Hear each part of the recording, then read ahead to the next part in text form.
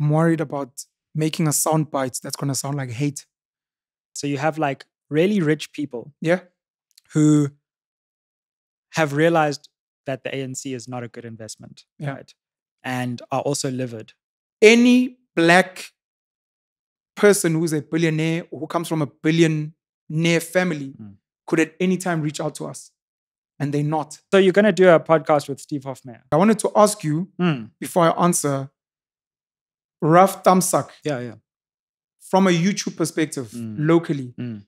what percentage of votes do you think we can potentially influence by next year? So what happened there? What, there was some controversy where people said it was captured. Is it is that true?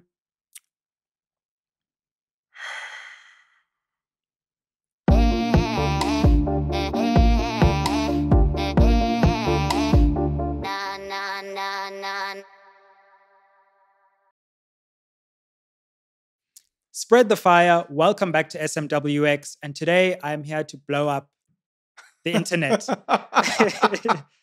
with Penuel, Mlotshwa Penuel, the Black Pen. That's what's up. Sis, thank you so much for the invite, bro. The pleasure's mine. Thank you for having me on your platform. Mm. That had to. interview was really quite something. I got so many comments, so many messages, so many inbox messages. Sure.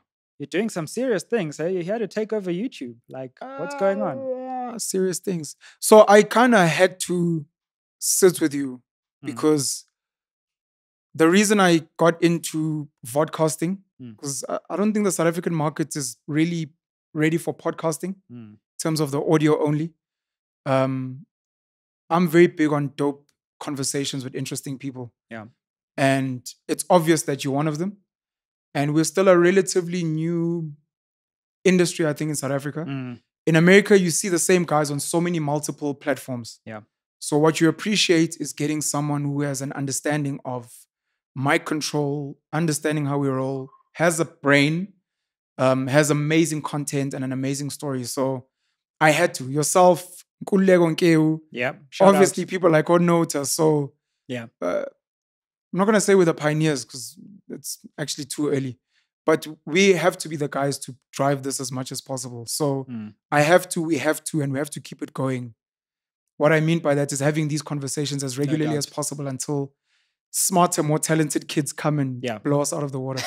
yeah. Where did the name the Black Pen come from? Um, where did it come from? I never wanted to study accounting. Mm. I was raised in Newcastle, born and raised in Newcastle, born and bred in Newcastle, in KZN. Mm. Uh, I did okay at school, better than okay. Read brilliant. Yeah, I think it's pretty smart What did- academically. What at did least. you like? Okay, just tell us about that because that's quite. When I saw you, when I saw firstly when I like I came to know you on the Hustlers Corner. That's when I was like, whoa, okay, now you're doing some some serious things. Um, but I was like, nah, there's this this this guy's really smart. But you're like accessible, so people might underestimate the accessibility for just Sure. commonality. But then I was like, no, there's strategy here. There's forethought. So wait, so so tell us about matric. Like, how did you do at school? Like, Oh, I didn't do well in oh, matric. oh, okay. So you just did well which at really school. sucks. I Yeah. so I was a Konje, you're a nerd, so we have to discuss nerdish things. I actually didn't do that well in matric either. Like, Really? I only found my my Were you disappointed? voice. I mean, semi, yeah, but like it was fine. But it wasn't like, okay. yeah. Um, I was born a nerd, man. I read Mm, mm. uh, nonstop. Uh, Mm. I was one of those really serious bookworms. Wow. Uh, I know in primary school I had a goal to like read all the books in there, Wow. and I started this habit of it. At the end of every book I've read, I'd put like a little sign in pen at the back of the book so that I can be like, "Have I Mm. read this before or not?" Mm. Um, I think that helped because the schooling system is cram and regurgitate Mm. more than anything. For sure. So that obviously helped a lot. I was a top 10 student throughout my schooling career. My matric Yes. exam results at the end were probably my worst performance Oh, okay. ever. I think I came out with two, three distinctions. Mm, mm. Um, I was gutted and disappointed. Really? But for what I was going to study, it didn't really matter. Mm. And Mm. for the scholarship I ended up getting, it also didn't matter. But considering what I was capable of academically, it was quite disappointing. And Mm.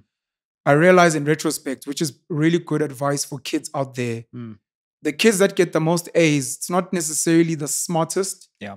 It's the kids that do physichem, study and master, Pythagoras, do past papers, even at tertiary level. Mm. If you can do past papers, if you can get closer to the lecturer, teacher, learn how to spot what to ignore, you can easily get distinctions. And I didn't do that. Mm. I was just Mm. very comfortable. Look, I go to class, I've got a photographic memory, and that's enough.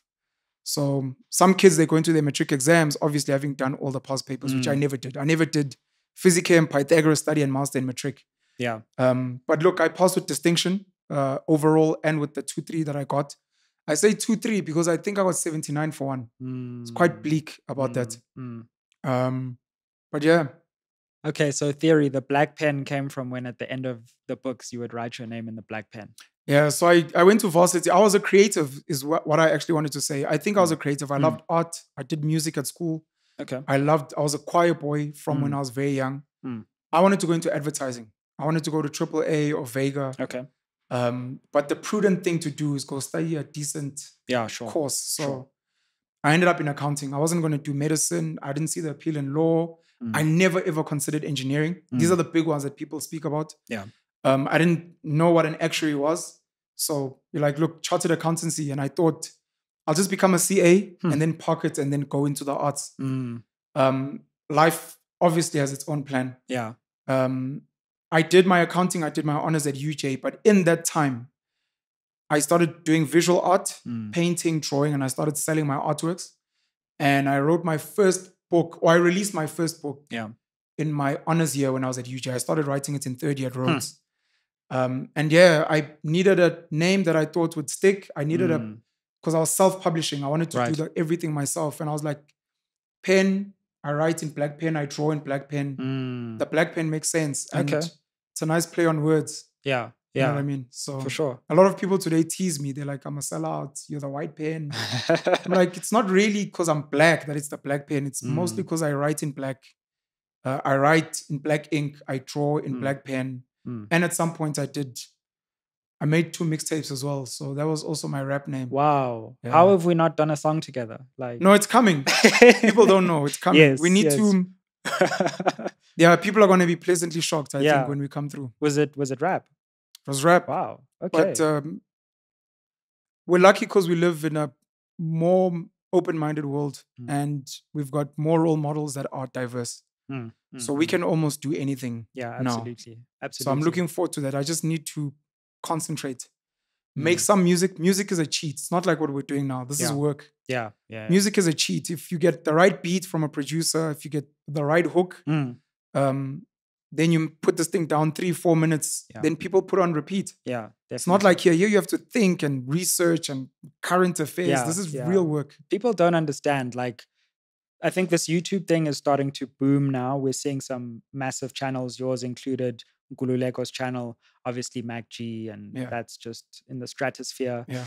SMWX, you know, coming up. I've Mix- heard of them. I've heard mi- of them. Mixtapes are pretty dope. dropping. You know, we have our first platinum, you know, single, JJ Tabane.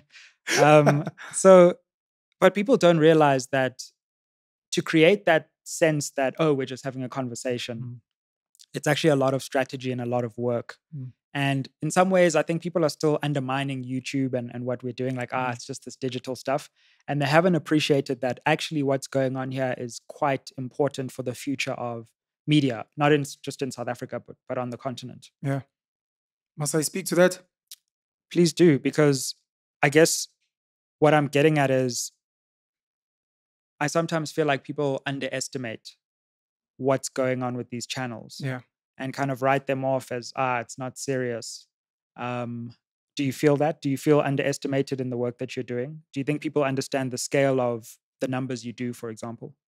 I'm not sure if if I must give long answers or short answers. feel free to give long answers like we we tend not to one of the things we can do for example is Sure. Is allow people to expand right it's not tv where Yeah. people are cut because there's an ad coming up commercial break. um so so feel free to expand Thank you. Yeah. Um, so the work that we're doing, and it's Mm. not just social and alternative media, Yeah. media, but all types of media and news and thought Mm. content. Mm. It takes a lot of work. Um, and now that I've gotten to understand the industry a bit better, Mm. I realize there's almost like a person who has a job for all the things that we do. Yeah. Why uh, naive, ignorant people would look at us and be like, oh, I want to start a podcast because I Mm. want to be, is they don't know that we've built ourselves into these people. We've integrated our normal life to suck intelligence and intel and analyze and debate and discuss. That's why it's almost natural for us. Whereas the next person has to first go read a few articles, read Mm. some textbooks, reference. Mm. We study this stuff for fun. It's like if it, a lot of uh, sports fanatics, Yeah. they can tell you, no, but he scored three goals in that year. No, it was 1987. Mm, mm. There are people that get paid for that, for that research. Yeah. So, from a political or a business economical perspective, psychology, anthropology, whatever, we've been living that for years. And I guess for some people, it translates in how we come across. They probably like, you probably read a lot. Mm. You're like, I don't know, because I've been like this for a while. Mm, mm. Um, there's important work that we're doing, and we're very thankful to the internet and social media that we now have a platform. Those of us who are nerds have gone and we've done the research and the reading into what is the most precious commodity on earth outside of time and natural resources, and that's the human mind. And what mainstream media did is they had the platforms to be able to control the human mind and get it to behave in a certain way. And what social media and alternative platforms are allowing us to do is to challenge them. We're literally the Davids going against the Goliaths. And the reason it is important and why some people don't understand is again, Mm. David and Goliath. Once you understand psychology, language, story, manipulation, propaganda, you know that the media can run with the story for 10 years Mm. And it can take one conversation, two minutes in how you structure it to get everyone to not agree with you, but to just question. Sure. Maybe they weren't right, Mm. Mm. you know, kind of situation. So we have that. In terms of the scale that you're asking, radio, you're supposed to pay your TV license, but radio is generally free in this country. Sure. People can listen to radio anywhere. TV for a lot of people is easily accessible. Mm. Of course, people are not paying their TV license, but it's there.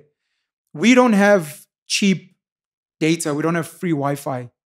So if we were to have that, you used an example like MacG, and if you look at his views uh, with the Sol Phenduka, Ghost Lady, and the rest of the team, Mm, mm, mm.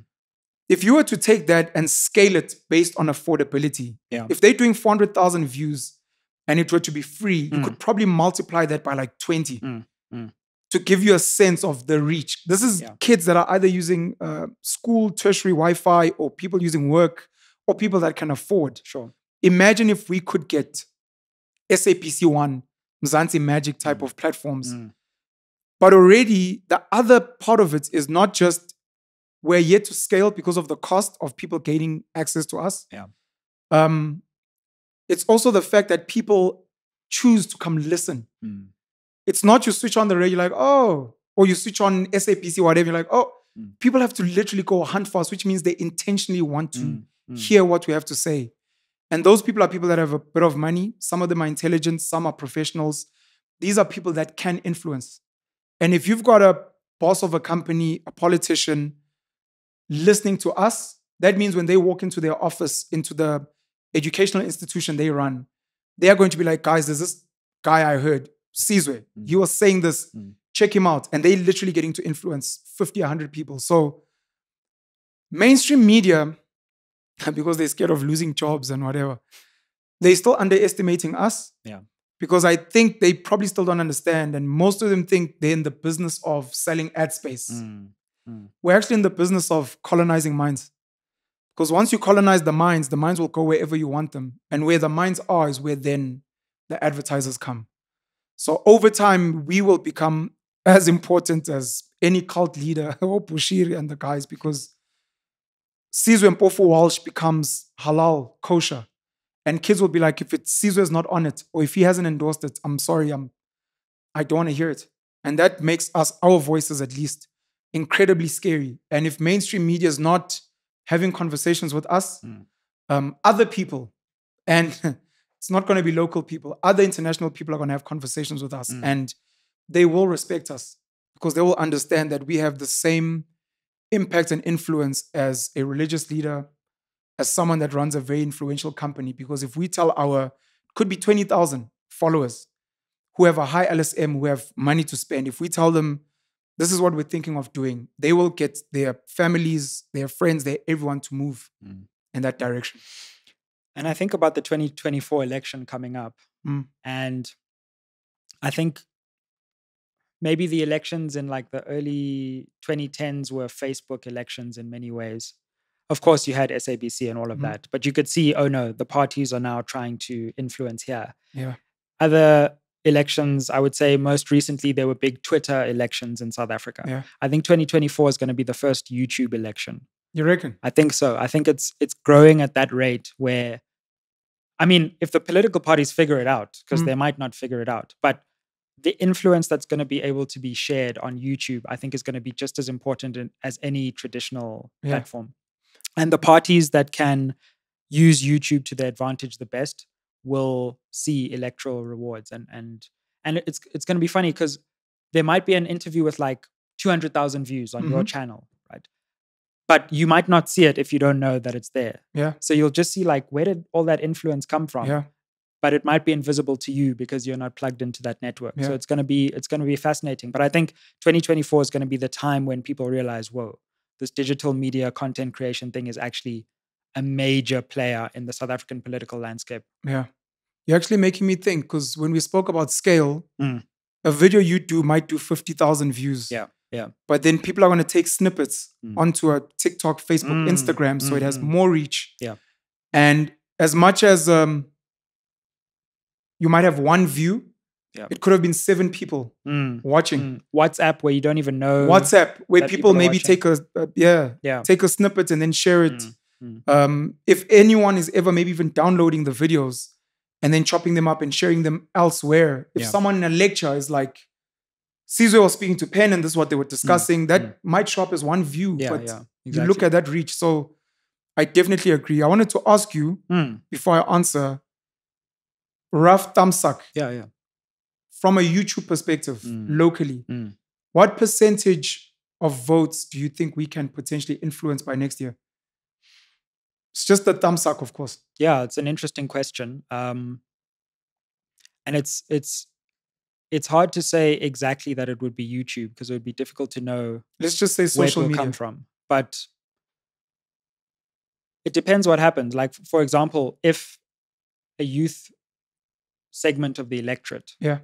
that is not voting right now decides to vote for Mm. example that that can swing the election could True. be 1 or 2% but it, it could swing the election True. um, I would say one, two percent Really? of, of an outcome. Yeah. I, I, I think we could do five to 10, Wow. realistically. I mean, look, if if people actually, because I don't know how many people care about the political side of, of Yeah. I think you're someone who's brought that conversation in Mm. and have seen that gap as well as I have. I mean, if if everyone was like, whoa, hold on, like there's going to be an election, Mm. there's going to be a captive audience, Mm. and we are going to actually now not necessarily say we want to support this party or that party, but be like, this is going to be a platform where you have to sell yourself to the Mm. voters. Could be could be huge. We have a lot of, uh, it's called voter apathy, Mm. people that don't vote, Mm. especially young people. Mm.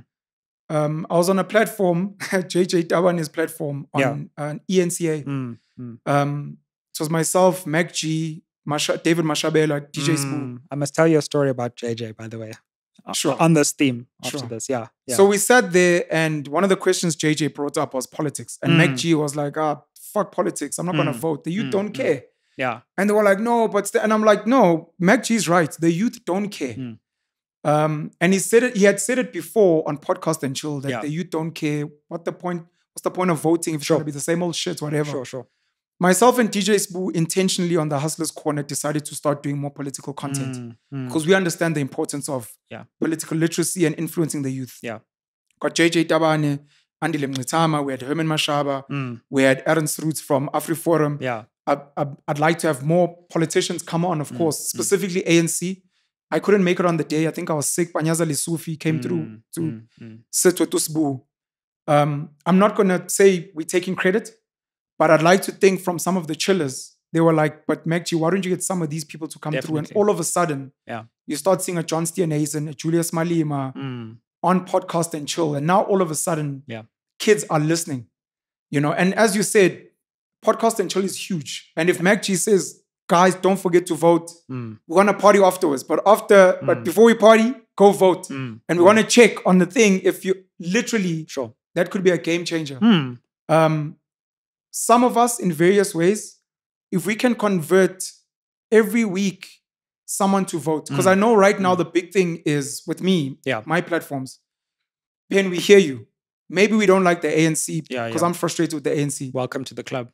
Oh, are we the anti-ANC? Uh, we're gonna have about an hour of ANC ranting after this, so don't worry. Yeah. So they're like, look, Pen, we agree with you. The ANC is problematic. We need change. Yeah, then they're sure. like, who must we vote Yeah. for? Yeah. Because they're like, if you can't tell us who to vote for, we're not voting. Mm. But if you can give us a compelling argument, Yeah. then and what's going to happen with our platforms is between now and voting next year, Mm. I'm inviting all the political parties, all of them. I don't care how arrogant they Yeah. are. Sure. Sure. I'd like to think the EFF is arrogant, which is kind of sad. And they meant to be a youth party. Mm. Julius, I'm not sure about Floyd, Mbuyiseni and Rosie. They part of the people that are undermining social media, I think, because they're like, Mm. yeah, people follow us regardless. Why We're do a young party. Why do you think they're, they're arrogant? Have you had experiences or? they make it a mission to access them and to come on platforms Mm. compared to uh, Herman Mashaba, Mmusi Maimane, Yeah. John Steenhuisen. Um, the ANC guys we know are arrogant. Mm. For example, you won't get a Cyril coming to church. You won't. They'll send some spokesperson Mm. from somewhere, Mm. which is part of the disrespect. But part of the disrespect is your LSM and your people are not really the people that vote for us. Mm. It's DA people and it's clever blacks. So we don't really need you Mm. and you you probably want to bring us on to attack us and parade us and Mm. so we're not going to fall for your nonsense so it might be something like that interesting. Yeah. Yeah. but there are a lot of young people who really don't know and some don't care Mm. and Mm. i joke about it but literally if there's a political party that says we already have a plan we've already started Yeah. wherever you are varsity at home ekasi in an informal settlement call us we will come and set up free wi-fi vote for us Yeah. if you vote for us we'll give you free wi-fi you can watch whatever you want Mm. can make, make money online and and you'd be surprised how many people are like look in fuck my vote i don't Mm. give give a Mm, fuck mm. so this is the free wi-fi party Yeah. i'll vote for them Mm. and all of a sudden, look, they may not get a seat in parliament, they may not, but to the influence, Yeah. they might take a lot of votes away from whoever was expecting to corner a certain constituency, for No, example. for sure. And I think that's also part of the importance of these digital platforms as they grow and, and their growth is exponential, Mm. is setting the agenda for the election as well. Yeah. So it's not necessarily just about the swing in the vote, but it's about what are people talking about? Yeah. What debates are we having? What debates aren't we having? Mhm. So if we said, for example, cool, every party is going to come on all these platforms in the election, the first question is going to be, how are you going to make data available to young Sure. people? Like then you set you set the tone, you set the agenda, and the rest happens by itself. And that's that's what we want, and that's what we need, and that's Yeah. what our followers want, Mm. uh, and that's what our followers need. And if these guys are not listening, Mm. Um, we may not have much of an influence now, but Yeah. over time, Yeah, yeah. um, look, South African politics largely is run by very wealthy people who fund the politicians. Sure. Some of us have access to some of those people, and we have the ability to influence where they put their money. Some of you do, yes. Some of us do. We we are yet to access. I don't know funds. who, but some of them do. No, but Yeah, honestly no, sure, speaking, sure. They listen to us Mm, because mm, mm. they've figured it out. um, wealthy people generally are good at making money. Hmm. And for most of them, that's all they're good at. Yeah, sure. Honestly, Mm, they Mm. don't know how to run human beings. They don't know Mm. psychology. They don't know how to, they're not creative. mm, mm. That's why they need advisors. That's why they need teams. That's why they, so we become those advisors. You know, if you track a lot of billionaires, if you really deep dive some of their best financial decisions, because someone whispered in their ear. Cristiano Ronaldo and Lionel Messi are soccer players. They make hundreds of millions of whatever every year. They don't manage that money. Someone says, I'll be your financial manager. Once that money is there, someone else can be like, listen, we need to position and fund this person here in Spain, Sure. this person here in Portugal. All of a sudden, Mm. Cristiano Ronaldo, Lionel Messi are involved in Argentinian, Spanish, Portuguese politics. Mm. How? Because some of their money, because someone said somewhere that this will affect Mm. football and the youth, and so that they can travel easy. Just like Yeah. that. But in there, we slip in something else, and a certain party wins. We are that smart, and they don't see us and they don't respect us, and it's fine. Mm, mm. More than anything, we genuinely care about building a first world country because we've also been able to travel and those things.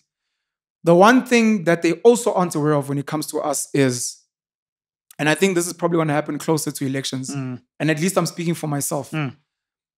Sizoshintsha ilimi esikhuluma ngalo. Uze uPenuel masekhuluma ukuthi usekhuluma isiZulu, masekhuluma isiZulu nogogo sebeyakwazi ukulalela nomkhulu. Hey, mm. uthini lo mfana all the rest of the time and that's just one gimmick. Absolutely. Another gimmick, and shout out to Mr. Beast in America, one of the biggest YouTubers on the I planet. wanted to, I wanted to talk about Mr. Beast as well. At any given time, we can get kids Mm. chilling at varsity at an institution somewhere. Guys, jump on a platform, reach out to us, download our content, translate it, let's dub. Yeah. I'm chatting to Sizwe in uh, Svenda, Mm, in mm. Sesotho, and Mm. you're like, all of a sudden, we do that reach that you thought we couldn't do. Mm, that's a great idea. all of a sudden we're pirating DVDs on Yeah. the streets. yeah. All yeah. of a sudden we're infiltrating text. Like it's still early and we don't have money Mm, and reach. mm, and but mm, mm, we're thinking like that. And we're gonna hit them from the back like technology Mm, did. mm, mm. Like, you know, WhatsApp has never been marketed in this country. Um, e-wallet Mm. was never really marketed to block. Sure. M-Pesa wasn't marketed in East Africa. Mm.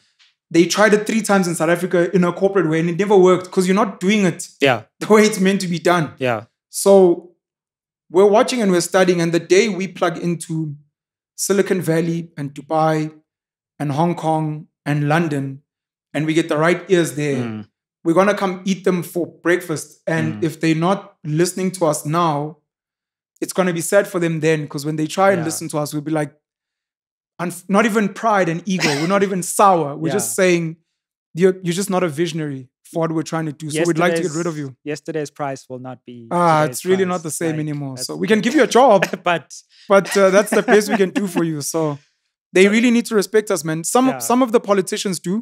Um, the last point I want to make before you speak about Mm, JJ mm, Tabane and Mr. mm. Beast is um there's um, a documentary I think on Netflix, um, something to do with data. I just forgot the name. The Great Hack, it Mm, might be, yeah, where they yeah. speak about Sure, the power sure. of technology and social media and how Mm. for example, the Obama campaign didn't have as much money as whatever the Republicans were doing. But with the little bit they had, they positioned Mm, on social media strategically and got people to vote differently. Mm. I don't even think our politicians are thinking of priming Facebook and the likes Yeah. to only show certain content. Um, Action SA at Yeah. the last municipal elections were all over Twitter. mm, And I was like, someone here kind of has an understanding of yeah, something yeah, yeah. and maybe they'll do that. I thought the EFF as a pro young party would do something like that, where Mm. they they cool, they they have red berets and Amapiano videos, uh, where on podcasts we always talk about the EFF, and we were. mm. I thought they were going to be dope like that, and they were going to infiltrate mainstream culture. The kid that's doing trap and is it's going to be like Yeah. they wear red. They're not EFF, but you're priming, Mm, in the, and mm, mm. they not and it's Yeah. sad and it's it's easy wins it's low hanging fruit Yeah. Yeah. again those are some of the things we could advise on you know they must pay us sorry. That's the last point i wanted to make. When the political parties pretend they care about us Mm. and they want to come on podcast and chill the hustlers corner the virtual mkuku Mm, smwx the Penuel show uh, on culture and all the other platforms unpopular opinion even though Nsigi Mazwa is not on it before. And we need more. Gigi Lamayne's platform i'm not sure what it's called. Okay. when they come, they must please pay us because we know how they work, and they and we know they are funded for their marketing. Mm, So they must share some of that money with us, and they mustn't fucking take us for clowns because we know. Again, some of us have access to the people that fund them. Some of us have access to people that deal with marketing, mm, spend. Some of us know people that do data analytics and reach, and we're not clowns. And our content is going international where people don't watch SABC Mm. and DSTV. Um, our stuff is watched in the United States. Uh, AfriForum did a, yo, I'm speaking too much. AfriForum did a documentary on white genocide. Your party. Huh? Your party. My, uh, We're my gonna- my get N-. NPO We'll that get does there. amazing work on the ground. Oh yeah, your apartheid party. Yeah. Uh, they they're not an apartheid party, but we'll speak No, about we'll them get there. if we we'll get a chance. They did a documentary uh, about farm murders, Mm, which ended mm, up getting to America, which ended up getting Donald Trump on a platform to say he's seen what's happening in South Mm. Africa. They must stop killing white farmers. And you're like, mm, what the fuck? mm, mm, mm. When you look at the data, at the time, I think it was 74 farm murders a year, Mm. of which it didn't break racial demographics and it also didn't split between farm owner and farm worker. Sure. So you realize the power of propaganda and Mm, reach, of which Af- AfriForum now has the United Nations ear. They've been taken in as something there. They've they've been accredited as something there. They have the voice Hmm. of the UN. So I'm saying we have that type of reach. Yeah. If they're not listening to us, like I say, uh, and this is not me trying to be arrogant. Look, we're we're relatively young gents who are just Mm. trying to make a positive Mm, mm, impact in the country. Yeah. We're saying we want to be involved. We're saying we can see you guys are here. We see some of you what you've done even in the past. Mm. And we're saying just connect with us because we're actually trying to help you so that you can help the country. But if Yeah. you're that arrogant, when D Day comes and we have to pick a struggle, Mm. we're going to say, cut these people off and you'll be cut off. And it will be a sad story. But we'll be like, we, we gave you enough Mm, chances, mm. but you guys took us for clowns. No, no, for sure. Um, so so much comes out of that, and um, I want to delve into it. Go for it. The first is, um, oh, so the JJ thing. Yeah. So the way JJ came onto my show is we were at a a thing that was convened by former President Kgalema Motlanthe in Sure. the Drakensberg, and Fancy, fancy. I I saw him there, right? Sure.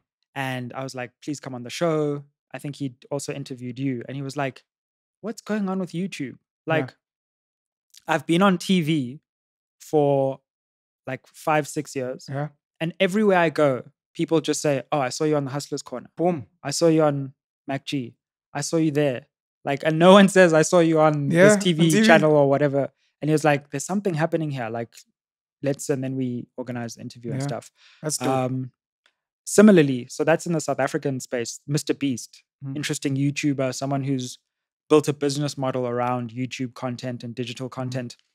And there's a lot of talk about new billionaires coming from the content creation space. Yeah. So that digital content is kind of becoming what some people are calling the new oil. Like you have to be able to capture people's attention. If you know how to do that and you can scale it and you can do it quickly, yeah. then you're, you're going to print money over a long term, maybe Mhm. not now. Sure. So for for those listening and thinking and interested about how to how to do that, you know, how did you go about uh, creating some of the the platforms you've created, the Penuel Show? You've got your own channel. Mhm. You were a big part of Hustlers Corner, and take us through some of the strategizing that you did to make those those platforms catch people's attention and, and grow an audience. So I'll start with the last part. I, I don't strategize anything. I don't think I'm that smart and I don't think I'm that focused. Um, it's the it's the advantage of being a nerd from a long time ago. So something that maybe looks like it was thought out is is not. Uh, so I just have to Mm. confess that I don't plan a lot of the stuff that I do. Um, you covered JJ Tabane, you happy? Yeah, You covered yeah. Mr. Beast, you happy? Yeah, yeah, yeah. Okay. Um, I've had an interesting life. So from accounting, I worked for a mentor of mine in Joburg. I worked for two of the biggest banks in the country. Hmm. I was never meant to be a nine to five. Mm. Like I said, I, I thought I was a creative and wanted to be in the arts. Mm, mm, Later on, I wanted to get into business because I read Rich Dad Poor Dad by Robert Kiyosaki. And I realize if I can build a business that pays me passive income, I can then go and live my life in the arts. Sure. So I went into business, but I made the mistake of falling in love with business as well. Stayed there probably longer than I should have. Mm. I had a fast food shop called Penrose Fish and Chips near Candy Square. Okay. I did um, truck trucking removals. Um, I invested in a clothing business, in a food business. I became a loan shark, uh, which meant I funded a lot of tenderpreneurs and the like. I met a lot of business people and entrepreneurs, which was pretty dope. And Mm. if there were platforms like this back then, I would have had so much content. Mm, Um, and then somewhere along the line, look, my business crashed 2016, 17. And normally when those things happen, you have like um, an epiphany moment or a moment of introspection where you're like, Mm, What am I doing with my life? Is this who I want to be known mm, as and for? And it was like, no. So I spent like two, three years making money as a loan shark, chilling at home, watching a lot of YouTube. And luckily, COVID lockdown came. mm, And when it did, my life didn't change. Everyone's life came to a standstill. Um, and I was still making money, which was dope. Mm. But in the consumption of YouTube, I got obsessed with watching Joe Rogan. Okay. Um, he's one of my mentors in the space. And I was like, I'd like to have conversations for at least the next three to five years Mm. and see what happens. If it can pay me, cool. Mm. If it doesn't, hopefully I'll find something along the way. Yeah. Um, and I, I started November, December 2021. Hmm. And very soon, my YouTube channel at the time, Penuel the Black Pen, went Hmm. from maybe three to 5,000 followers to maybe 10, 15 Hmm. because I started being consistent and, you know. Yeah. And he'd said this to me before on Twitter, DJ. Sbu. In the business journey, I find Jewish businessmen do this the best. They are constantly studying the market for new talented kids and ideas. And they want to be the first movers. They want to be the first people to invest in SMWX. You know, um, the Indian Muslims in South Africa come second. Uh, The white Afrikaners are kind of comfortable with farming and mining and some of the more technical stuff. The black business guys, old money, taxis, funeral parlors, they're not even thinking of let's do crypto, let's go on. They're not. So it's normally the Jewish guys. So Usbu, as an entrepreneur, as someone who also researches, he's got the same Mm. mentality. That's why he wants to find and befriend the kids that are popping in Amapiano, the people that are popping on, on digital content creation, etc., etc. So he'd already seen me. And when I started doing work, he's like, come through for an, an interview on the Hustlers Corner. Okay. So that's how the Hustlers Corner. That's how the Hustlers Corner started. thing came. Wow. Okay. Um, so I visited once. He said, come back. I came back. Hmm. The comments were like, bring him back again. I came back a third time and it was like, Wow. So put up just, a shack. So it was just like, was it just a message or a DM or like to come on the show? Yeah. So he had seen the stuff you were doing and Yeah. he noticed that. Wow. There's a there's a gent now. I need to send a shout out to him. Uzimasa Vabas, Mm. uh, Mustafa on Instagram. Hey, here's something interesting. Who's doing a lot of dope content. So Mm. if you do stuff like that, which is something we must never lose. Those little clips where he does. I know exactly. Yeah. it's gone on like, TikTok as well. Brilliant huge, stats. Huge. Brilliant stats. Shout out to him. Yeah. we mustn't make the mistake as we get older of Mm. thinking we're too cool. No, absolutely. Um, In fact, I, I must bring him on. Please. Yeah. That's what's kept Snoop Dogg relevant. yeah. Um, Zimasa, get in touch. I'm gonna get in touch. no, you won't get in Come touch. Through, I'll, come I'll bring him. Oh, okay. Yeah. Wow. I'll bring him to There we go. Sorry, we did the Penuel show. You It's did it. come out ah, later. You see now. I've actually got a lot of Penuel show is a eh? problem. You know, it was so nice when I was just the only person doing political interviews on YouTube. Am I chowing your? Like, and now every time, now you're just getting all yeah, but these Caesar. Penuel didn't say. That's pretty dope, though. Mm, mm. Um, so yeah, I'll I'll bring him through. It's a no, must. that'd be good. That'd be good. Um, we mustn't make the mistake of losing touch with, and be like, ah, those kids are whack. We don't, Absolutely. because those are the They ones probably know more. the No, they know they know more than we do on a lot of these platforms. Yeah. Yeah. yeah. what was I even saying? So, oh, Yeah. the Hustlers Corner. So, Yeah. Sbu invited me on. Mm. I became a permanent there. So it was just an organic thing. You Yeah. came on one more time and then you were there. Yeah. Interesting. And then Sbu wanted me to stay on. I stayed on. We grew the Hustlers Corner beginning of 2022 from about 40,000 Massive. subscribers to 150,000 or Yeah. more Yeah. by the end of the year. Um, we invited a whole lot of people. Yeah. Sbu created the Hustlers Corner for hustlers, Mm. for entrepreneurs to tell their business stories. Mm, mm. When I came, obviously, because I'm a fan of the mind, I was like, Yeah. let's do more politics stuff. And because people didn't know me, they don't know Yeah. who I know and who I don't know. Yeah. So I brought in a lot of people that I know there. Uh, and What did what did he think about the political stuff? Like how was he convinced that actually that was an interesting stream of content to go down? Was he sold at the beginning or did it take some no, he was nervous at the beginning because Sbu is big on branding himself as a businessman today. Mm, mm. And if you want to be um sustainable businessman who can see through different governments, Hmm. different political regimes, whatever, you want to be apolitical. Sure. That's why a Patrice will fund the ANC, the DA, and the EFF as an example to be like, look, yes, I'm with the ANC, Mm. but I'll give you guys money because I'm I'm about making money. You know what I mean? So Sbu wants to be like that. Like, I don't want to be biased, of which he was an ANC guy at some point. But Mm, he's like, mm. look, I don't want to be an ANC guy anymore. I just want to, you Yeah. know. But he realized, look, some of this content and some of these conversations are important. Yeah. You know, bringing a Duduzane Zuma on, bringing Amandi Samashiko on. Mm. Um, it's dope content. And because we're not saying vote for these guys, yeah. and because we're going for different political parties, Mm. we don't have a side that we favor. Mm.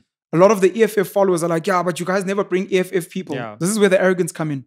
You DM guys, you try and speak to guys, and We they try. blue tick you. Yeah. Yeah. So it's not that we're Mm. selectively, Mm, you know what I mean? And mm. even if some of us may not like the ANC, yeah. it's not because we're not inviting them. It's because some of them just don't want to come because maybe they don't think we have the reach or Yeah. whatever the case may be. Yeah. Yeah. As we grow, of course, SMWX, the Penuel show, Mm, they're going to be begging us. Mm. But luckily, we're not arrogant. We'll let them come on. You know what I mean? But now. it's going to be kind of sad. and you best believe on the platforms, I'm going to tell them, but you know, we tried, guys. Mm. You guys were the arrogant people that didn't, and they laugh it off. Ah, Nah, I've got I've got stories to tell too. Like, but but it's fine. It's fine. People will will realize in the end. yeah. Take us behind the scenes on the Hustlers Corner because I mean that's now a legendary YouTube channel. You've done some of the biggest interviews this country has seen with political figures, but also people in culture. But I'm always fascinated in what people don't see. So, Yeah. like, we watch some of those interviews. Tell us what it was like. Like, when did you realize, whoa, this thing is going big? Or just just give us a behind the scenes story that that people wouldn't have known. Um, like one of your most interesting experiences there. Again, you're assuming like we sit and we analyze these things. Mm, I think Sbu does. Mm. Actually studies the analytics a lot. Yeah. I generally don't. Nkululeko was brilliant at he's studying the brilliant. analytics He- and he those gave me such great advice for this Sure. channel, and I'm seeing it like take off as yeah. well. Shout Yeah. out to Nkululeko for Shout out to Nkululeko. free and watch, information, yeah, education constantly. Nkululeko and culture. Yeah. Also, just opening space for for many people. So shout out to Shout him. out to him. Yeah. Um, the Hustlers Corner. We'll speak about the Penuel show a bit later. Yeah, for sure. Okay. for sure. Um, Subscribe because the Penuel Show has more subscribers than F- SMWX really? at this stage, and it's actually Again, I don't study those these It's things. It's actually embarrassing now. So please, like, subscribe now, and can we just take it over because, like, oh, it's because the bad. show is captured. oh yeah, oh that's true. Yeah, I forgot So the that. white people that fund us are the ones that get us the okay, reach. yeah. probably. Ah, all those subscribers are captured. so It's fine. These are real yeah, it's like fake, fake followers, fake subscribers. AfriForum bought your your your subscriber. Apparently, geez, it's all the Afrikaans guys at AfriForum that have grown the Penuel I'm show. still gonna grill you on that. Don't worry, we're coming back. No, no, no. But but like, behind the yeah, scenes at the Hustlers Corner. I've been a huge fan of DJ Sbu for the longest time. Mm. Um, I've been a huge fan of Uzola Seven for the longest time. Mm, I always said if I ever become famous in this country, mm, it has to be like Usbu Nozola. I want to walk in the Mm. streets and be like, Mm. "Hola, exe, exe, mm, Spuda, exe, mm, mm, Mzolisto." mm, mm, mm. I don't ever want to be the type of popular person where I don't feel like people can come up to me and chat to me. Sure. And so I've studied him a lot. Yeah. And I've studied his moves, business, otherwise. When I met him, one of the things I knew, because I knew he was a workaholic, I didn't know how bad it is. Mm, Sbu is, he's getting older now, he's in his 40s, but he's Mm. those older guys who put 19 year old kids to shame. Hmm. He's a workaholic. The guy works. mm. He lives for, he's got a meeting with Massive, then he's going to promote MoFaya. Then we shoot three episodes back to back of Hmm. The Hustlers Corner. Um, then he's Wow. going to DJ and you see him going DJing live on Facebook. Then he's busy discussing cryptocurrencies. Mm, Then he's going to promote uh, property with Ekasi Noble, and he's a workaholic, yeah. you know, uh, which is pretty dope. And Elon Musk is also he's big on just work, mm, just put in the work. With that being said, because he's got a business mind and because of the Kasi Tembisa guy he is, he loves the concept of let's bootstrap mm. until we see that there's something special here yeah, sure. then we can see where we can maybe get money from. So we've been bootstrapping the Hustlers Corner for the past year. Hmm. We actually haven't really invested in it, to be fully honest. It's crazy. We've had a crew of between one and three people at Mm. any given time. Mm, mm. So you'll get one guy, Justice Shawalala, shout out to Justice, who'll come and record to the audio and then go edit. It's amazing. And you think there's maybe people, Yeah, it's yeah. just one guy. Wow. Phenomenal. Like I said, on other days, there might be another two, three guys, Sure. but generally it's that. Mm, Sbu and I don't plan and like, hey, dog, listen, let's sit down and strategize. Mm. Zero. There was a time where we're like, look, let's try and have topics. So on the way to recording, yeah, yeah. he'll be like, hey, what was in the news? And I'll be like, okay, no, let's discuss the ANC. And he'll be like, oh, snap. Uh, Zakes Bantwini and Mm. Unomcebo and uh, Wouter have just Mm. won a Grammy Award. Mm, so mm, mm. let's chat about that. Yeah. Or something tragic has happened, or something's happened in sports. Mm. A lot of it is very spontaneous. yeah. It's one of my fears with vodcasting and social media Mm.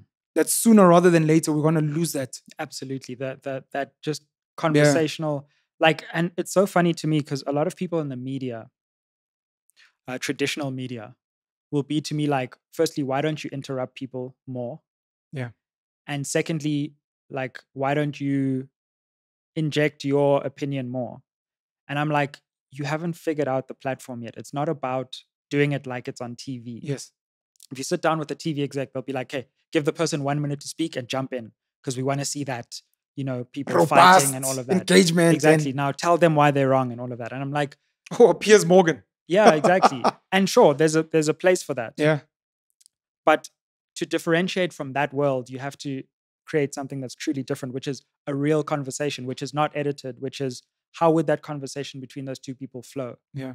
And I think that's what my audience appreciates, which people also haven't figured out, is it's like it's not supposed to be a TV interview. It's not supposed. It's a to. different kind of thing. Sometimes we go there, then we come here, and then we go there again Yeah. because that's how conversations work. Yeah. And it's a recorded conversation. Yeah. Which is pretty dope. I, I'm scared of us losing that. Mm, mm, Look, part of it, it's the reason why in the music industry and sometimes in sports, young kids come and they they bash the old old cats because Mm. You've become too commercial. You're worried about your family. You're worried about brands, and the Yeah. kids don't fucking care. Mm. Lil Durk and all these other kids, they don't care because they they're not there yet. They're not Yeah. thinking endorsements and how will this affect my. They're like, fuck it, we're gonna shoot them up, and you're like, you Yeah. can't see that yeah. you know um but look there's there's a there's a place for that and there's gonna be a place for again man shout out to joe rogan joe rogan came in and he didn't monetize his youtube channel which was odd Mm. because of his views and secondly he did something that everyone was like it doesn't work everyone's got a short attention span Exactly. no one will listen to an hour conversation Yeah. and joe rogan will go for three hours Mm, mm, mm. and the way he recorded it was fly on the wall Yeah.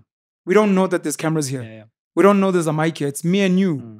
And you're like, and when that chick came through, dog, what was it? It was part of the appeal at MacG Mm. until people realize you get in trouble because Mm, people are actually watching and people can actually cancel you. And and it was like, so you fucked the dog. And you're like, hey, dog, I. uh," You can't say that because people are actually watching. But without the controversy, Joe Rogan literally got people to just have conversations. And I didn't want to lose that.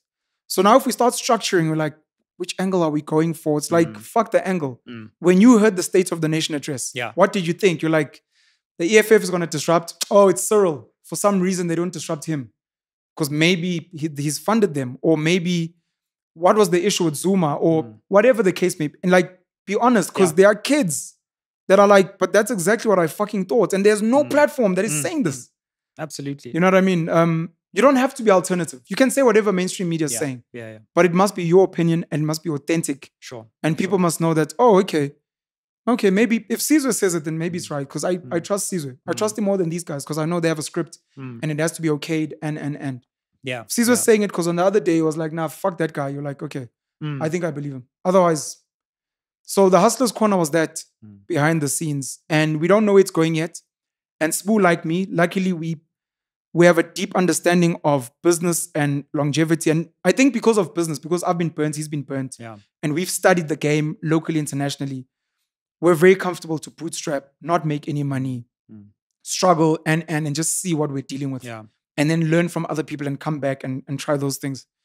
Um, There could be some deals that are interesting now where you are, but in one year you could be at 10x where you are views wise, Yeah. and, and that wouldn't make sense. So it's a patience game as well. we've had to turn down sponsorships and investors um, because we don't know. You Mm. watch uh, the Social Network, the movie about Facebook, Mm, mm. um, and Mark Zuckerberg, Eduardo Saverin in the story, we're trying to discuss. Let's sell ads. Let's and Mark is like, not yet, because we don't know what we're dealing with yet. It's cool. Mm, It's a mm. cool platform. It's a Mm. cool thing. Like, do we really want to fuck it up with ads and sign up to this and subscribe? Like, people are here because it's cool. And look, Joe Rogan has proven it as well because without ads, without anything, Spotify came and gave him initially, we thought it was 100 million, then 200 million US dollars. And we don't know if Africa will ever get to that Mm, kind of reach mm. or type of deals, but and we're not doing it for money, or at least I'm not. Sure, sure. But it's maybe something really dope would happen. Yeah, And yeah. if, and this is why the Penuel show cannot be captured, at least yet. If someone comes in with an agenda, I can no longer speak. And I'm a minimalist. I have my own religion. I'm like a mini cult figure. So I don't need the money and I don't want someone because, like I said earlier, I know the business we're in. And it's not a money business and it's not an ad sales business. It's a business of colonizing and influencing minds. And we've got a unique um, position to create the new version of halal kosher Christianity Buddhism. And why would we fuck that up by taking something that's already been there? Mm. If these guys and their billions were so dope, they would have done it before, but they couldn't. We can. So I might have 10,000 subscribers. I might not have a big reach, but I don't want you to come and fucking tell me what to do Mm. because you're gonna fuck up what I'm doing. Yeah, exactly. Let me scale this thing. Look, let's remain friends. And here and there, maybe I'll mention your name. Mm. Maybe we'll do some cool stuff together. Mm. But don't come and tell me I didn't like that episode. I'm like, oh, that's tough for you Mm. because other people liked it. Yeah. And you need to get with the program. And if you don't like me, that's fine. But this is me. Mm. I'll help you make a bit of money, but that's as far as I can go. Yeah. But you're not going to dictate to me because these are my followers. These are my people. And I don't want to lose them to you. Mm, That's mm. bullshit. So it's that for now. We're still bootstrapping. The Penuel show is different, Yeah. but on the Hustlers Corner, we're still bootstrapping for now. No, for sure. I mean, I know the Penuel show is captured, so we won't even. Oh, the like, Penuel show's yeah. got money for What, days. what happened? Like, so what happened there? What, there was some controversy where people said it was captured. Is it? Is that true?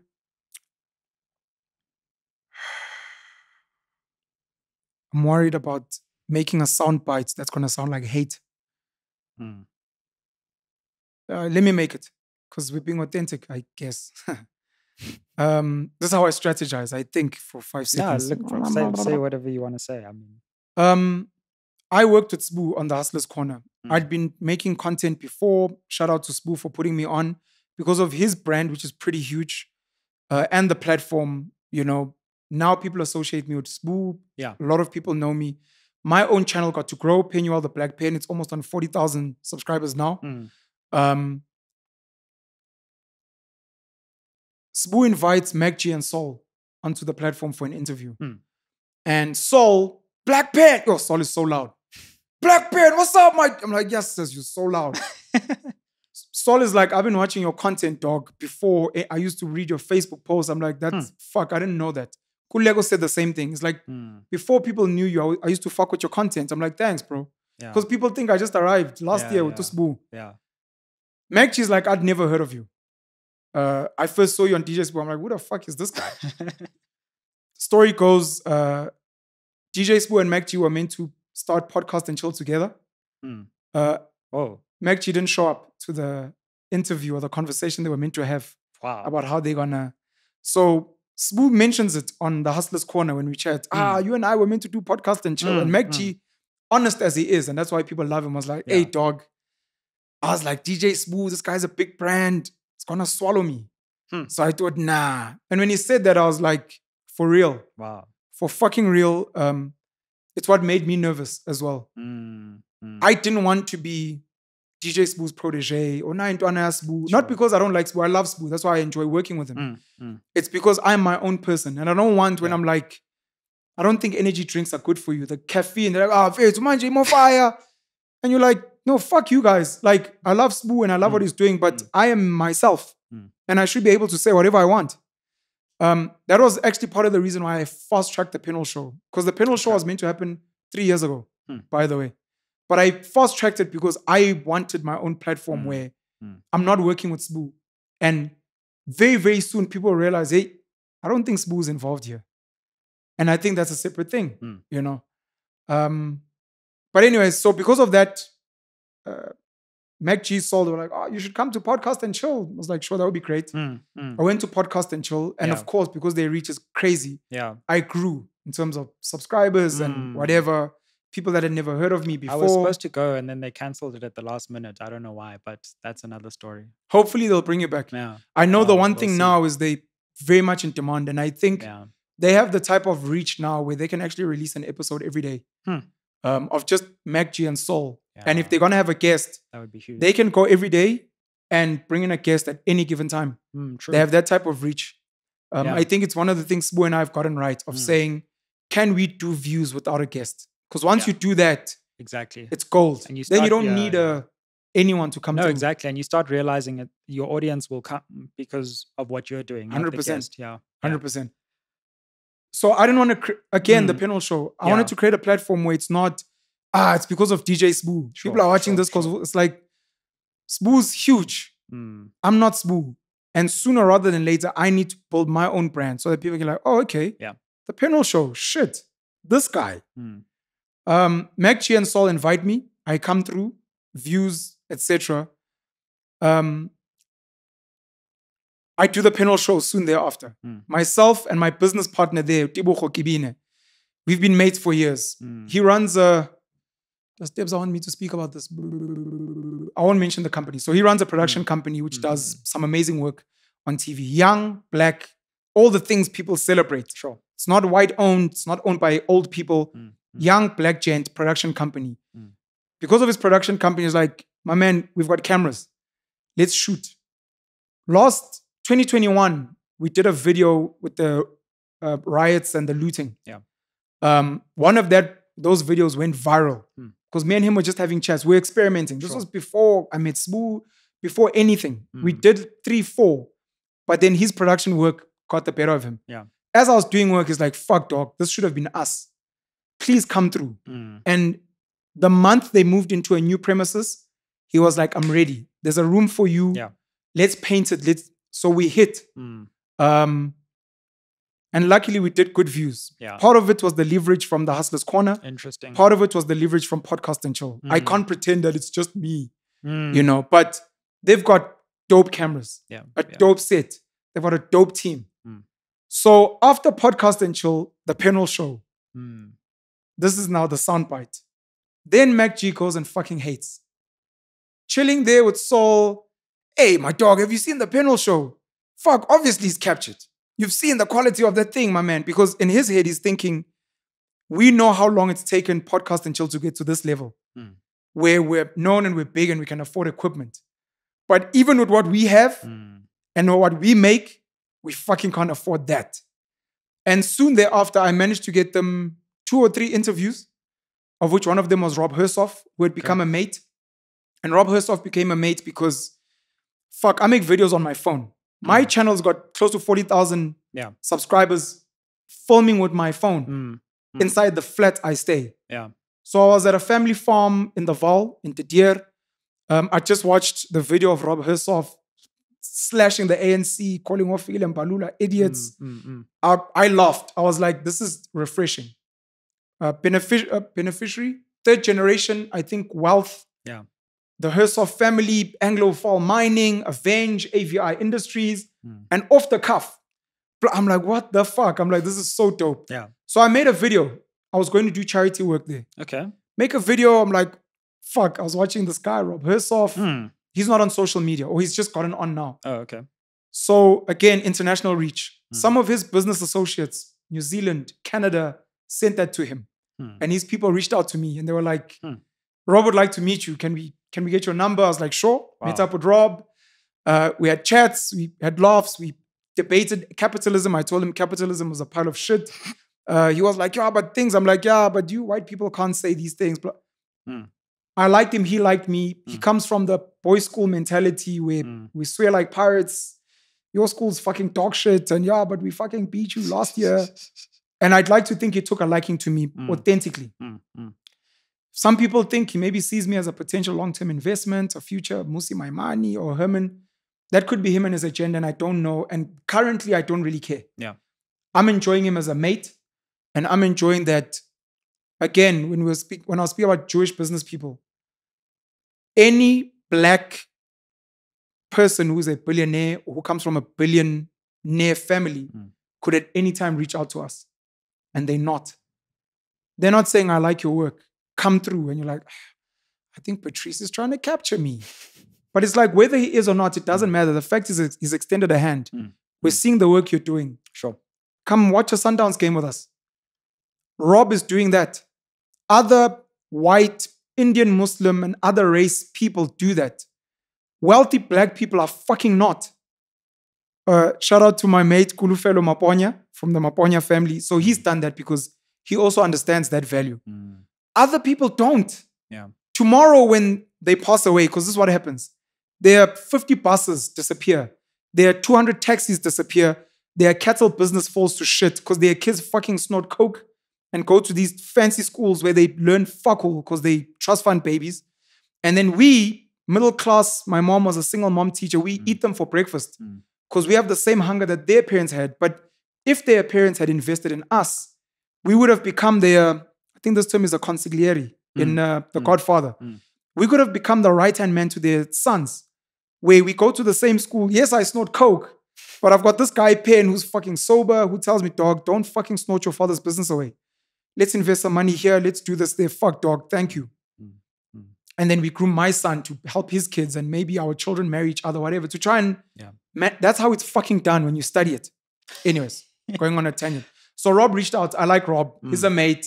Hey, Pen. Mm. Like, hey, what's up, Mm. Rob? Um, so you used your you used your boys' school. I didn't go to a boys' Yeah, school, but yeah. rugby. Me, for me, Mm. it's rugby. Yeah, Rugby yeah. got me into the boys' school culture. Mm. Um, And then so Rob reached Yeah. out to me. We met. Um, I had a sit down with Rob in Cape Town. Mm. That interview did well on my channel. Um, I'd met Gayton McKenzie because he wanted to hire me when he was at Dravonia on deck. okay. I wasn't ready to work for him then. I just wanted him to mentor me. He Mm. went into politics. Um, he's doing amazing work in the Karoo, I'd like Mm. to think, with Patriotic Alliance. Did an interview with Gayton. I was like, when you're in Joburg, please come through. Rob came to visit his parents in Joburg. He was like, I'm fucking there. Penuel Mm. show. Mm. We hit, does good views. After that, um, I'm like, go to podcast and chill because Yeah. people need to hear the other side. People are always like, white monopoly capital and these fucking rich whites. mm, I'm like, not a lot of wealthy, rich white, not a lot of wealthy white people are willing to talk, and you Yeah. are. Yeah. You may not be their voice, Sure. but you're just a voice. Mm. When we get Johann Rupert or his son to come through, will be another voice. When we get Nicky Oppenheimer's boy, not sure of his name, come through, Jannie Mouton's son, you know, some people may not understand why some of us move the way we move, but Mm. in the spirit of Nelson Mandela, we're trying to build a, an important or an amazing country. And part of it means speaking to the stakeholders Mm. that actually have real influence. You know, so, someone said to me, I won't say who it was, but the problem is all the people in the middle right now in South Africa. So you have like really rich people Yeah. who have realized that the ANC is not a good investment, Yeah. right? And are also livid. And then you've got young, energetic black people, talented, maybe no access to the resources that that group has. But then you've got this whole group of cadres, politicians, people mm-hmm. who wield political power in the middle who like act as a buffer between those two groups. 100%. And they were saying if we wanted to change the country, we would just cut out all that middle stuff and get these two groups of people who have a lot, you know, that's not in common, Yeah. who disagree fundamentally with each other Sure. on, on a whole host of issues. But if those two groups of people could could actually talk, then something interesting Fuck. might actually come out of it. You have the talent, I have the resources. And, Rob and- Hersov yeah, has yeah. said that on the Penuel show. It's something that people always ask me Mm. about, and I fucking got a lot of DMs. Connect me with Rob. I'm like, fuck. yeah, yeah. So we need to create a platform, or we have Yeah. a platform. I just need to make time for it, Mm. for mentorship. Mm. Johann Mm. Rupert, before he got pissed off and told South Africa to go jump, was with Given Mkhari, literally extending a hand. Said, Given, if you can get talented young black people in a room, Mm. I will get my rich white friends to pull through Mm. and let's find common ground.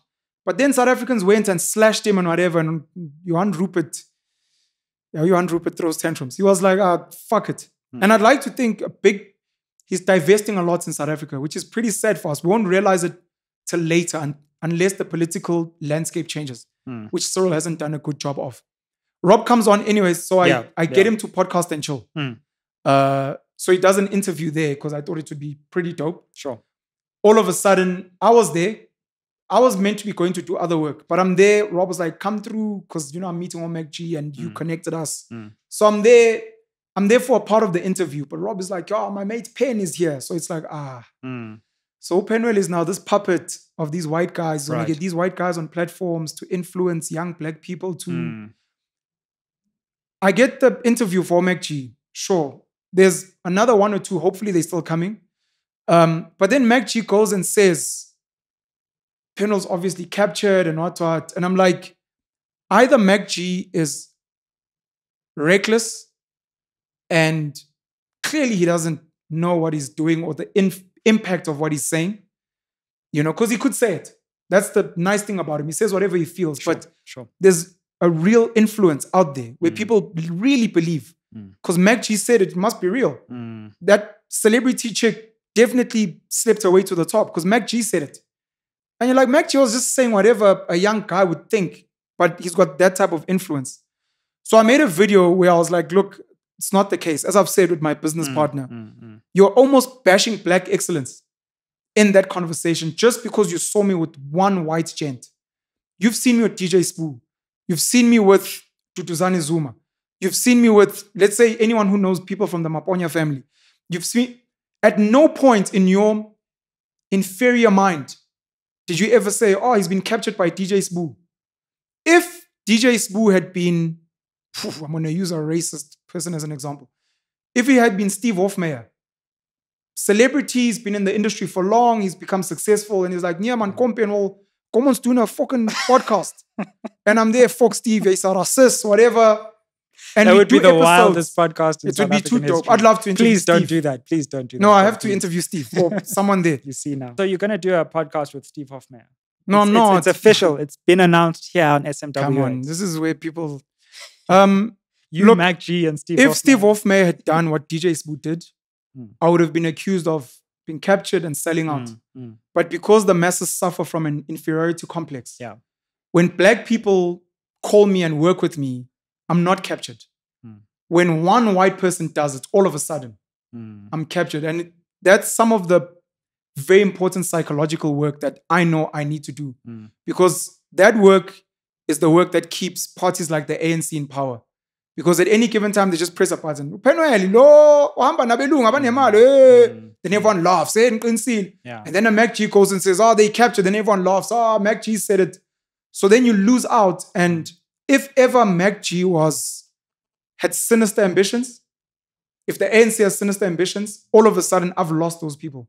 Whereas I could have actually done really good work. And to what you're saying, mm. I can get people, put them in spaces with people with resources. Sure. You're part of AfriForum. They and Solidarity have built Soltech Skills Institution. You've got young black kids who need jobs and they don't have skills.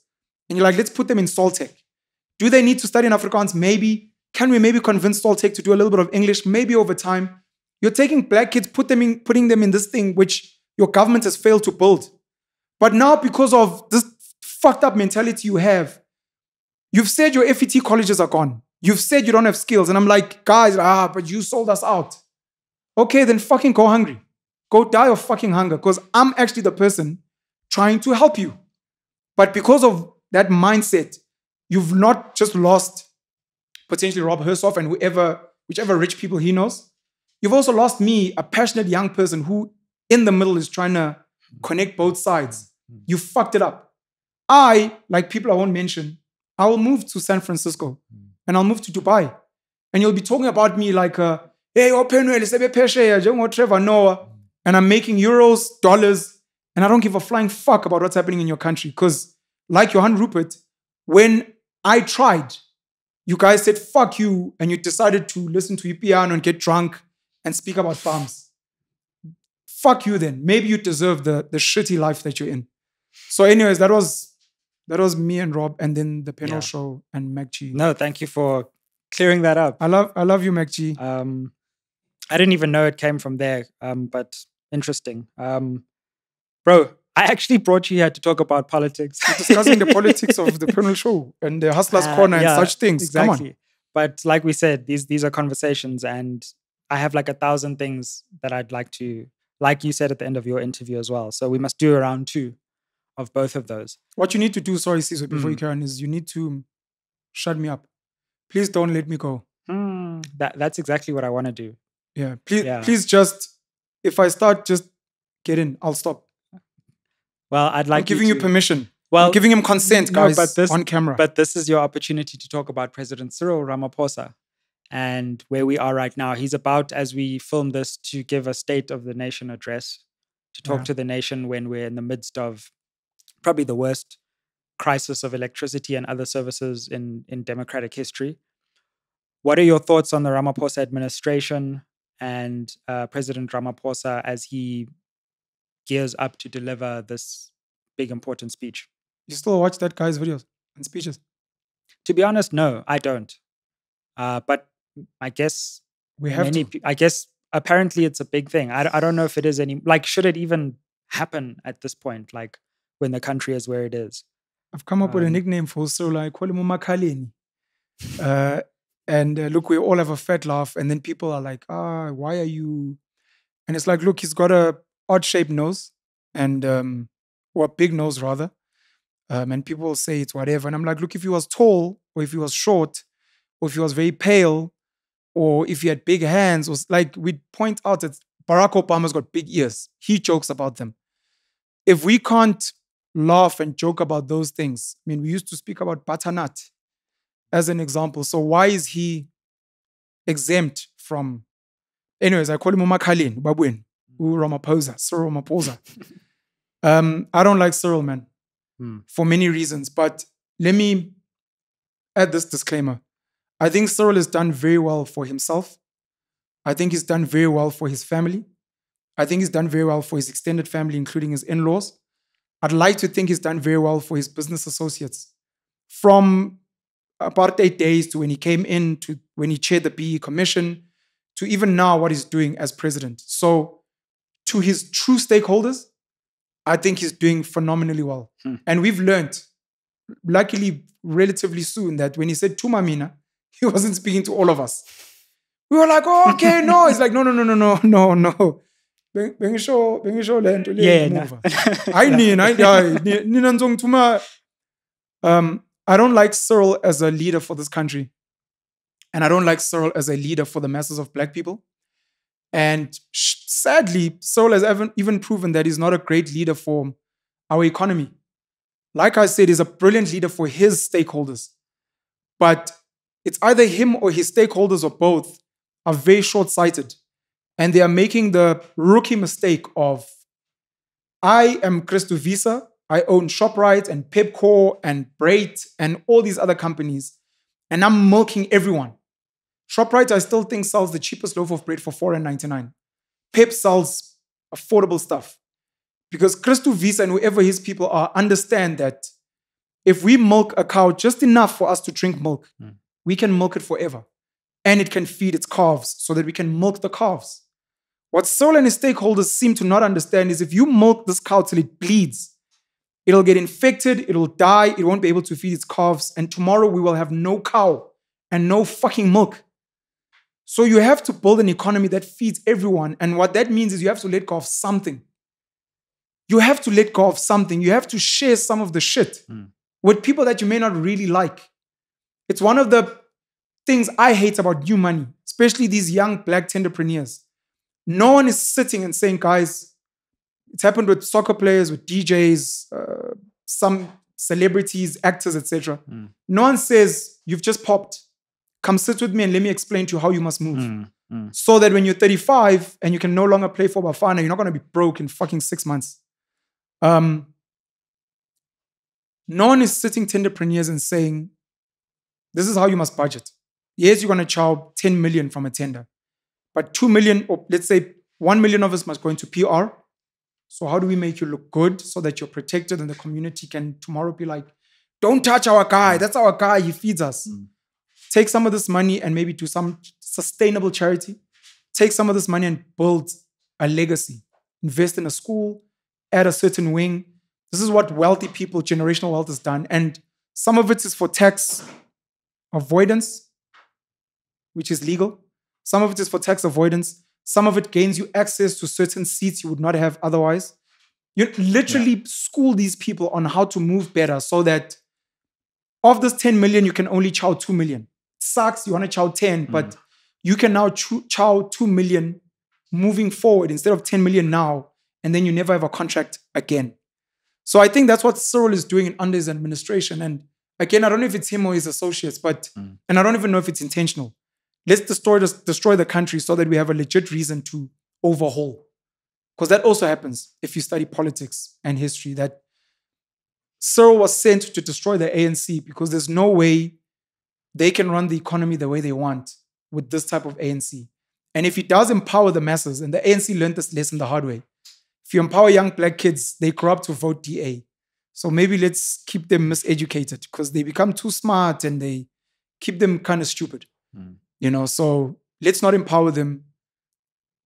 If we want to live like kings and be their bosses and dominate them, and if you look at how the world is moving, we need to build welfare Yeah. states. So I don't like Cyril, man. I I I don't even know if he likes himself. I stopped watching his family meetings because there was a lot of bullshit there. Mm. Um, the ANC as a whole triggers me, especially people like Phil and Balula, Bheki Cele, and other people that bullshit us on platforms. They bullshit, look, they bullshit us because we can see through the bullshit. But obviously, they convince the masses and they do a stellar job for their funders. But it's upsetting because they, they, you said I could swear here. Bro, you've been swearing for like the whole hour. Now you But now you swe- ask. Swear words have levels. this one I'm about to is the one where your mom is like, Okay, no, don't don't don't say that one. Oh, I mustn't say that one, Yeah, okay. Yeah. But uh, yeah, man, they they oh, I said it earlier, but I used clowns.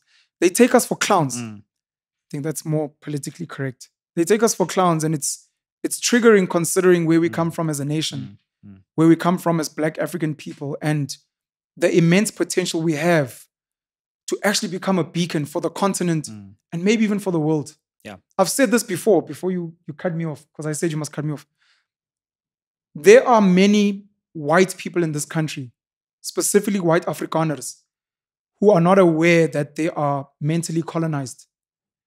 And it takes a Nelson Mandela, it takes a Siyamthanda Kolisi, it might take someone like me to sit with them and talk, where they're like, You're not like the others. And I'm like, There's actually a lot of us. And it's just because you were told a different story, because your leaders need you to hate us so that they have power. Whereas actually, we're kind of the same. So the rest of the world and their rubbish capitalism they have, they may not be aware of it, but they actually need us to rise to save them from themselves. And if you've got rubbish leaders like a Cyril, you're taking us back. Because right now, we've gone from apartheid and colonization, where we had shit jobs and we were exploited, to now where we can't even work and we're glorified beggars. A person sees government as God. What will we eat? INC must give me a home. And during apartheid, we still had some level of dignity. White Afrikaners oppressed us and they exploited us and they committed atrocities, but we had some level of dignity. Now there's zero. You see people queuing to be fed like children. Is a social grant recipient. And he's not wor- men, grown men with hands and arms and legs standing at a street corner begging, Mlungu, please hire me for peanuts. We've gone backwards. It's fucking pathetic. So his administration, and look, we're not going to isolate it to him. If you look at the ANC, and I don't want to protect other people, I'll just say them as a whole. They've really taken this country backwards. Um, not just black people, but everyone. To be continued, bro. Um, we'll speak about the state of the nation Our cameras are if, literally. if it happens, because the EFF might not let it oh happen. yeah, that's true. Um, our cameras are literally collapsing because we're not captured like you. So, oh shit! Snap. Sorry. so we have to I'll speak to my mates. I'll ask Rob yeah. to round up his band of merry rich. Eh, eh, Please, we've been waiting. kidding. Uh, so all the people in the comments who want us to carry on, we'll we'll we'll get you back. Thank you very much for joining us on SMWX. Can I say one more thing? Yeah. Please, um, to everyone who's going to be watching this, please capture us. We're begging you. Yeah. Yeah. We have got a. There's a button called the join. It's a join button where you can click and you can donate Mm. money to this platform Mm. So that we can buy better cameras. If you can get in touch with Sizwe and you can donate directly to him, if you can buy his book, um, if you can buy whatever we're doing, guys, you leave us vulnerable to have to go and beg money from other people. Mm. Please don't do that. If you contribute a little bit, we can do more for you because we're trying to actually do what your politicians are meant to do, which is to serve you. But if you leave us like the politicians to have to go and beg money from someone else, Mm. We might be forced to push their agendas, which we probably won't do. But at some point, who knows? But you ever, you like have first dibs to capture us, like what happened with AfriForum. Mm. If you give us a hundred rand every month and there's like a thousand of you, that's a hundred thousand, and we can fucking do dope shit. So let's make it happen. Yeah, for sure. Thank you. Bro, thank you for coming on. Easy, sis. I hear you. To whatever camera is actually working. I I hear you.